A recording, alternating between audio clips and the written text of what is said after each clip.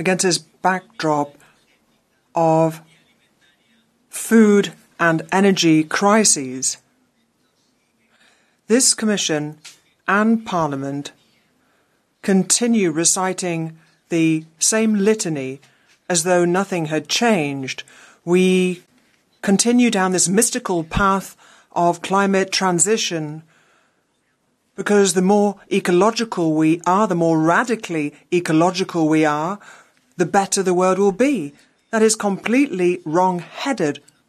In actual fact, we're demanding sacrifices of Europe's peoples and nations, the kinds of sacrifices which will in no way be commensurate with the results we achieve. We're going to see a food crisis across Europe very soon, and we've got a problem with energy as well as with terror. And we just stand around as though nothing's happening.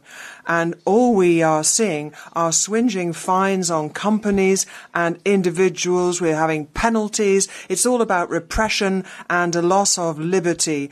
I really don't think that these proposals are going to solve anything. All you can do is condemn.